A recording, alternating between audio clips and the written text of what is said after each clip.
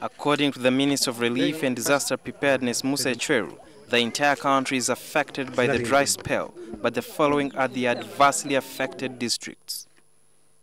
Kisoro, Kaabong, Bukwa, Yumbe, Kasese in areas of Rimi and Mubuku, Yumbe, and Bulambuli among others. The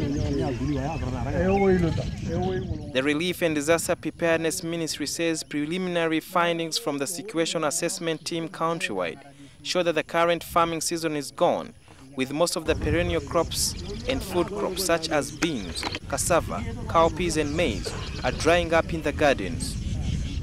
In the Elgon region, the low-lying areas, people had opened fields and fields of uh, maize. As we talk, you can light it and it will catch fire now. Against this backdrop, Ecweru warns the country could face a food shortage in the following months. I want to assure the country that we will not allow a situation where our people will die of hunger. So far, five people are reported to have died of hunger in Napak district in Karamoja as a result of the current dry spells that will extend into next month. We have already started uh, emergency relief distribution in districts, particularly Kabong, which was severely hit and where we people are, suffered displacement into neighboring Kenya. Uh, we have started distribution there, and we are likely to roll it even to other districts within Karamoja that find themselves in that kind of situation.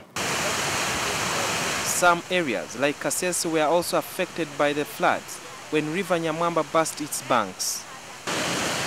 It killed eight people and washed away gardens. A month later, the sun has scorched what was left behind. Ecweru says that as government continues to study the situation, weather forecasts show that most areas in the country will receive rains in July. For now, the Relief and Disaster Ministry is working together with the Ministry of Agriculture and that of Water and Sanitation to ensure the farmers are given the seeds as well as alerted in time to take advantage of the new planting season. Recently, we voted for resources for the Ministry of Agriculture.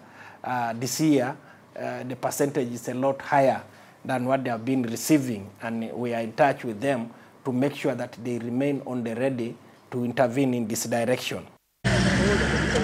Ecweru says the Ministry of Agriculture will identify certified suppliers of reliable seeds that will be distributed across the country to the affected communities that reported crop failure. Fact is that most of the seeds that we give, that most of the, the beans that we give are not certified. They are not meant for planting. They are meant for eating. They are meant as a relief. Now, so, so when we give relief out of despair because they have no options, they have ended up planting some of it. Efforts to get a comment from the Ministry of Agriculture were futile. Ah. Drought and dry spells were last recorded in the country in 2005, in 2007, and also 2011. With the next yield expected between November and December, there is looming concern over food shortages and the government's long-term plan to ensure food security in the country. Sudil Biarhanga, NTV, Kampala. Okay.